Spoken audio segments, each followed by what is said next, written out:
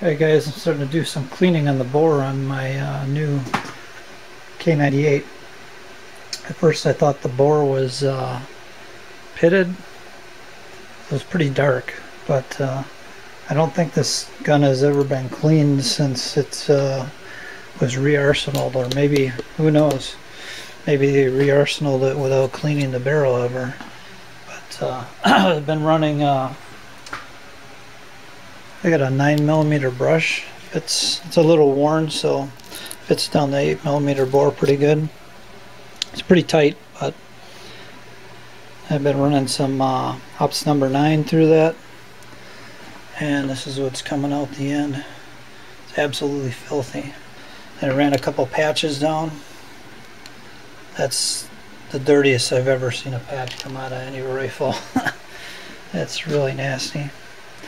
So this, this bore, whoever had this gun last, did not clean it. See some copper coming on there too. Get that green tint.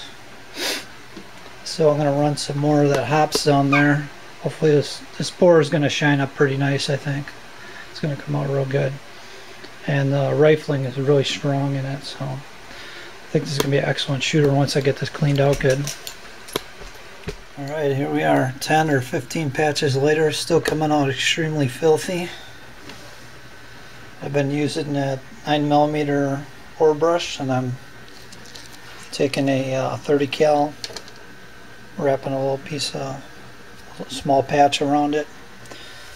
And that's what those are, those dirty ones. So I'm breaking out the uh, Remington bore cleaner now.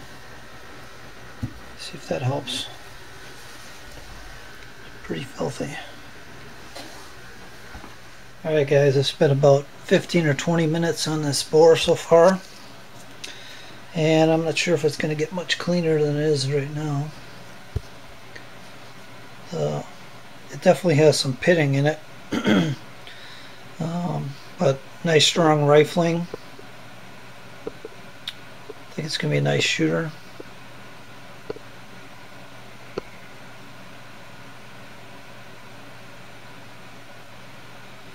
Nice good crown on it, on the muzzle. Yeah, this one was definitely used in the war, I would say.